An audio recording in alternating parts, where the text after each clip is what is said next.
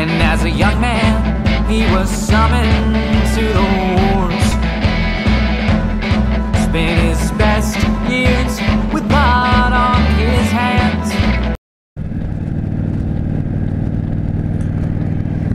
Hey guys, it's Homomoto, and it's story time. I want to talk to you guys about the time that I got shot in the line of duty. Now, it's not as bad as it sounds. I mean, it was a pretty bad situation, but it's not as bad as it sounds. Typically, when you hear an officer was shot, you always hear some kind of really morbid tale afterwards. My situation was scary as heck, but it came out okay, I guess. What happened I was uh, on routine patrol in public housing, and I got a dispatch call that there was some teenagers gathering outside of one of the housing projects, the apartment complexes that we had. And that would have been Walnut Park Apartments in Memphis, Tennessee. Well, I responded, and I didn't run code because it was just uh, kind of a little curfew violation. It wasn't that big of a deal. I mean, clearly, if they're violating curfew, they're still going to be violating curfew when I get there. So, you know, there's no sense in running emergency code when it's not an emergency. well, upon my arrival at the apartment complex, I didn't have to look too far to find what I was looking for. The first corner I turned, I saw four juvenile. They were standing in a little group in front of one of the apartment buildings. I pulled up beside them and I said, you know, hey guys, uh, the housing projects in Memphis has a curfew of midnight. It's 2 a.m. I really need y'all to go inside, or, you know, if you don't live here, you're not a guest here, go ahead and leave. But if you live here or you're a guest here, you know, go ahead and go inside and everything will be fine. Well, I mean, they were respectful. They said, thank you, officer, you have a good night you know, I I started to pull forward. I turned off my lights and started to pull forward. When I say lights, I'm talking about my uh, blue lights on my vehicle. I didn't make it just a few feet, and they were pointing their fingers in the air and going, you can see this, bloop, bloop, bloop, bloop, bloop, bloop, like they were shooting at me with their fingers. Well, that's that's a sign of disrespect to law enforcement. It's also a sign of watch back, we're going to shoot you. So I turned my lights back on and put the little car in reverse backed up. I said, look guys, you know, I gave y'all a couple options to either leave or go inside. Now I'm going to have to give you a third option. They said, oh really, what's that? And I said, well, you can have a room for the night in Hotel Poplar, where your accommodations would include a cold hard mattress and a cold bologna sandwich. Or you can, again, do what I told you a while ago. You can either go inside or you can leave. So the biggest, oldest one, I, I guess he was the oldest, he was definitely by far the biggest. He said, uh, you gonna take of all five of us to jail? And I'm sitting here looking, one, two, three, four. You know, I'm sitting there thinking, even a teenage gang member can count to five or four. And my response was, I didn't really think that much of it. I said, yeah, I'll take all four of you to jail. But something didn't feel right. So I start looking around and like, where's number five? Where's number five? And about the time I caught a glimpse of him out of my eye, he was standing kind of to my uh, left shoulder, kind of behind the car a little bit he hollers out, wrong, there's five, fool. And shots ring out. This guy fired, he just kept firing. He fired, we counted 13 shell casings on the crime scene, all of which went into my light bar and my car. And unbeknownst to me, one of those rounds took out my two-way communication antenna on my car.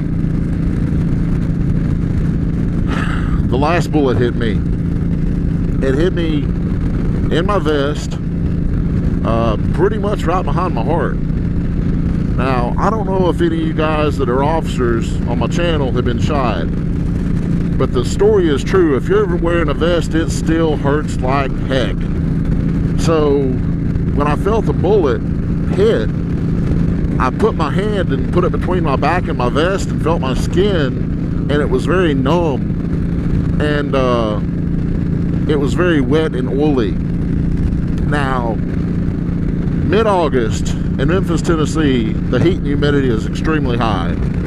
You add to the fact that my air conditioner didn't work quite right, and the fact that I was wearing a Kevlar vest, that's going to make me sweat a little more. So I pull my hand out, and my hand is covered in sweat. It felt like blood. So first thing in my mind is I've been shot, or I've been, you know, the bullet went through my vest. Because at that time they had a couple cases where they had found some supposedly Teflon coated bullets and supposedly those things would go through a bulletproof vest. I can't confirm whether or not that's true or not. I don't know. But that's the first thing that went in my mind. Well, this kid goes to reload. And as he goes to reload, I draw my service weapon and I ordered him to drop the weapon and he pointed it at me again and I, I discharged my weapon twice. Don't know for sure if both rounds hit him, but I know one hit him. Um, it hit him in his leg, and we're trained to shoot center mass. But at the time I pulled the trigger, I was kind of trying to go for cover because he was pointing his gun back at me again that he just reloaded. So I hit him, and he screamed out. I know the bullet hit. Well, as I went to open my car door, his four buddies they were wearing like a light type, uh, like a windbreaker type jacket. They pulled the jackets back and all four of them were armed. They started to draw on me, so I threw my car in reverse and floored it. Uh, wasn't really watching what I was doing, which was stupid. But I ended up slamming into one of those big community mailboxes, you know, the ones like for the whole apartment complex. And mail just went everywhere. I mean, it was raining mail. I managed to get back far enough to where I felt I was safe and I pulled out of my car and went for cover and was going to engage the suspects. I was trying to call for backup. My uh, radio ID was 7-8 at that time. So I jumped out of the car, 7-8 Central, I've been hit. I need backup and I need an ambulance. 7-8 Central, I've been hit, officer down. I don't know what it was other than God himself that made them stop and turn around and go the other way. I'm very thankful that they did, but I want to tell you that's one of two times in law enforcement I was truly scared. I really thought my life was going to end. I'm going to save the other one for another story time because it's it's pretty bad too. It had to do with a guy on drugs. But officers out there, I want you to always wear your vest. I know it's protocol and you're supposed to do it anyway, but if you're like me, that was the first time I'd worn my vest in two or three weeks because it was so daggum hot. But I want you to wear your vest. Situation where you have multiple suspects, follow protocol, call for assistance before you engage the suspects. You know, I made a couple major mistakes like that night that could have cost me my life. And I, I would hate to see some of my brothers in blue you know, go through the same situation, only worse. Guys, that's all I have for this one. I love y'all and roll tide. I was a storm and I passed right over you. And I tried to eclipse the sun in the hopes that you love the tumble and spray in your face the sky broken by light.